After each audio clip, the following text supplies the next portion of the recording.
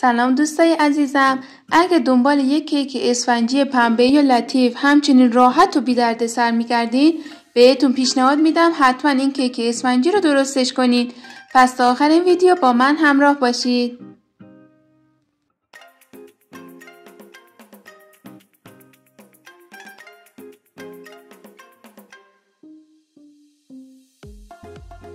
برای شروع ابتدا زرده و سفیده تخم مرغ ها رو از همدیگه جدا می کنیم.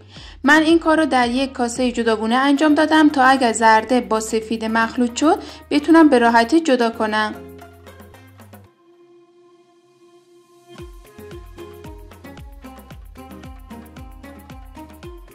سپس با کمک همزن برقی یک کمی سفیده ها رو هم می‌زنیم تا از حالت لختگی خارج بشه.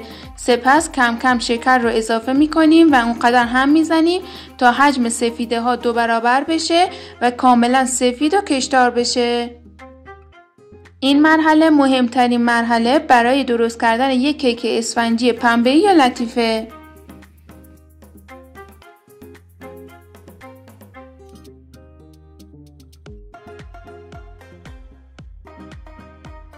سپس در دو سه مرحله زرده ها رو اضافه می کنیم و مجددا چند دقیقه هم می‌زنیم.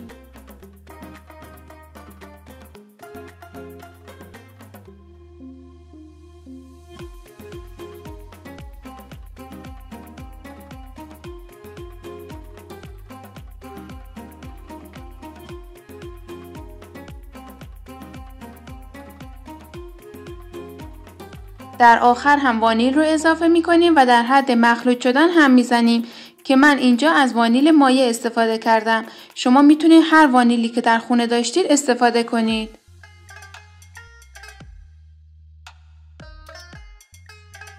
آرد پودر کاکائو و بگین پودر رو روی مواد معلک می کنیم و در حد 10 ثانیه با همزن برقی هم می‌زنیم در آخر هم با لیسک به آرومی و در یک جهت مواد رو فولد می کنیم تا یک مخلوط یک نواخت و یک دسته به دست بیاد.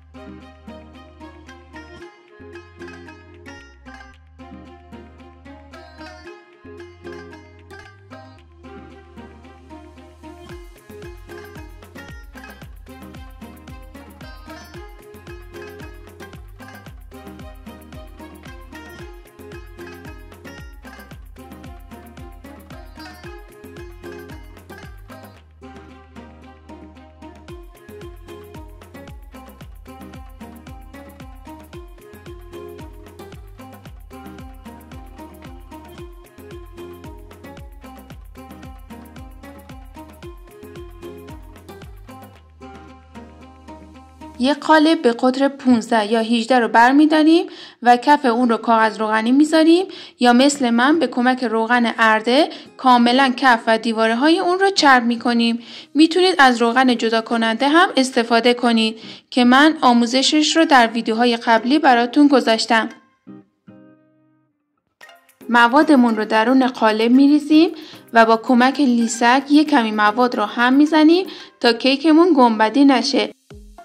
سپس قالب رو درون فر گازی با دمای 180 درجه یا فر برقی با دمای 170 درجه که از قبل به مدت 10 دقیقه گذاشتیم تا کاملا گرم شده می‌ذاریم.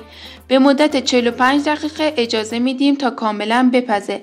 قبل از نیم ساعت اصلا در فر رو باز نکنید تا پف کیک نخوابه.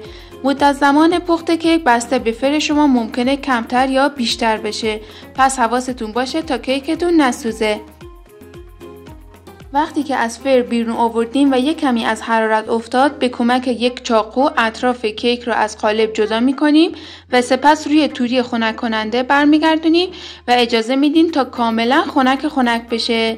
این هم از کیک اسفنجی شکلاتی ما با بافت بسیار پنبه یا لطیف. امیدوارم که از این آموزش لذت برده باشید.